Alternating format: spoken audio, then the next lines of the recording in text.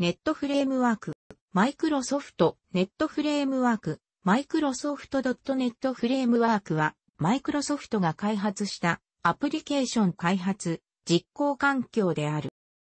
Windows アプリケーションだけでなく、XML Web サービスや Web アプリケーションなど、Web ベースのアプリケーションなども包括した環境となっている。一般に、ネットという場合、ネット全体の環境を指す。ネットフレームワークにおける最も重要な概念は、共通言語基盤に含まれている。くらいの目的は言語に依存しない、開発環境及び実行環境を提供することである。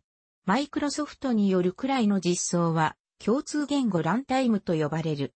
CLR は次の主要な5項目からなる。シルのコードは、アセンブリ、Windows においては、米形式の中に格納される。アセンブリは配置、バージョンセキュリティの単位である。すべてのシルコードはそれ自身の情報をメタデータとして保持している。CLR は正しいメソッド呼び出しが行われていることをメタデータによってチェックしている。メタデータはコンパイラによって生成されるが、開発者が独自のメタデータをカスタム属性として付加することも可能である。ネットフレームワークは次のような目標に基づいて設計されている。C やビジュアルベーシック、JScript、ネットのコンパイラ、各種ツール、ドキュメントなど SDK はマイクロソフトから無償で配布されている。2014年11月12日、米国マイクロソフトによるイベント、コネクトで、ネットフレームワークの内書きのものを MIT ライセンスの下で公開したことが発表された。これらは製品レベルの実装であり、シェアードソース実装ではない。ターゲットとして既存の Windows プラットフォームの他に Linux と OS10 が含まれる。ネットフレームワーク4.6のリファレンスソースが MIT ライセンスになったことにより、それがモノ4.0に取り込まれた。また、ネットフレームワークの基盤となっている仕様である共通言語基盤は、イクマインターナショナル ISO JIS にて標準化されており、マイクロソフト以外のベンダーが独自に実装することも、切る。実際に、ザマランによるモノプロジェクトをはじめ、いくつかのオープンソースによる実装プロジェクトがある。それらを使うことで、ネットフレームワークでコンパイルしたプログラムを Linux や Max などの Windows 以外の OS でも動かすこともできる。なお、マイクロソフトによるくらいの実装を共通言語ランタイムと呼ぶ。ネットフレームワークは CLR にその他ライブラリー群を加えたものと言える。では、共通言語ランタイム上で Java 仮想マシンの実装を試みる ICBEM、ネットなどのオープンソースプロジェクトも活発化している。各バージョンは上位互換性が概ねある。しかし、上位互換性が保証されているのは CLR のバージョンが同じものであり、CLR のバージョンが同じものは一つしかインストールできない。現在、下記の CLR バージョンが存在する。ネットフレームワークの最初のバージョンである。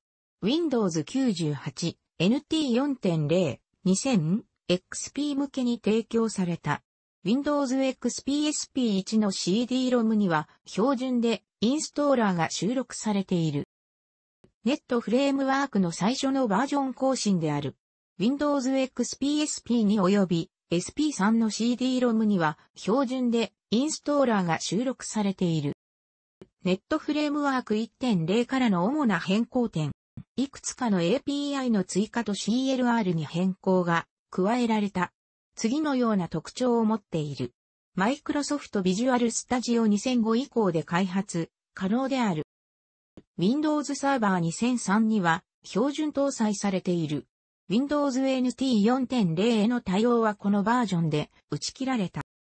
ネットフレームワーク1.1からの主な変更点。もともと WinFix という名称で提供される予定だったが、提供の5ヶ月前の2006年6月に現在の名称に変更された。Windows Vista や Windows Server 2008には標準搭載されている。Windows 98 ME2000 への対応はこのバージョンで打ち切られ、Windows XP より前の OS では動作しない。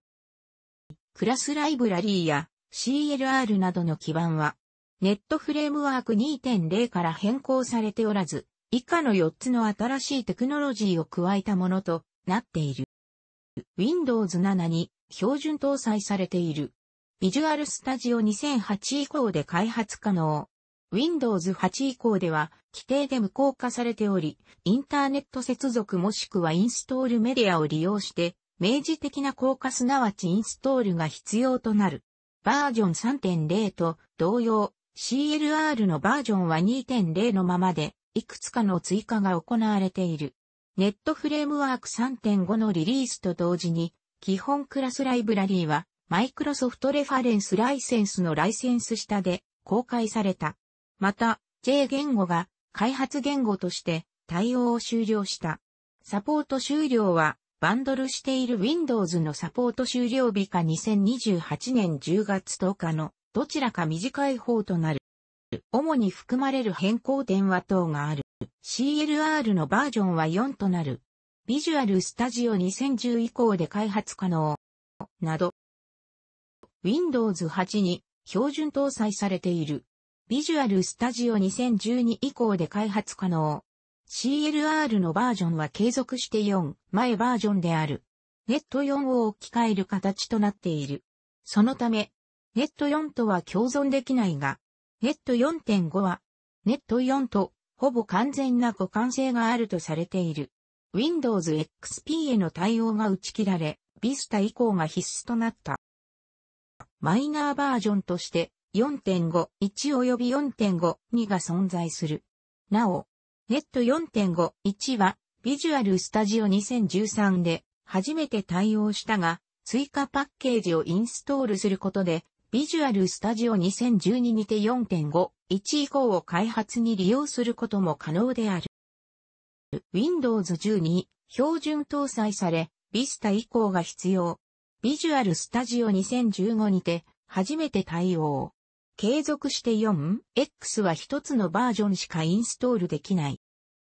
マイナーバージョンとして4.6.1が2015年11月30日にリリースされた。4.6.1では Windows Vista、Windows Server 2008のサポートが終了している。4.6には2016年8月2日にリリースされた。Windows 10 Creators アップデートと同時に2017年4月5日にリリースされた。これまでのネットビジュアルスタジオの新バージョン公開スケジュールとは異なり、ネット4.7よりもビジュアルスタジオ2017のリリースが先行する形となった。QOS へのバックポートもアナウンスされ、2017年5月2日に利用可能となった。なお、ネットフレームワーク4.7以降は、Windows 10バージョン1507、1511については、Windows 10バージョン1507、1511のサポートが終了しているため、サポート外になっている。Windows 10バージョン1709と同時に4.71がリリースされた。Windows 10バージョン1803と同時に4.72がリリースされた。2019年公開予定で開発中。楽しくご覧になりましたら、購読と良いです。クリックしてください。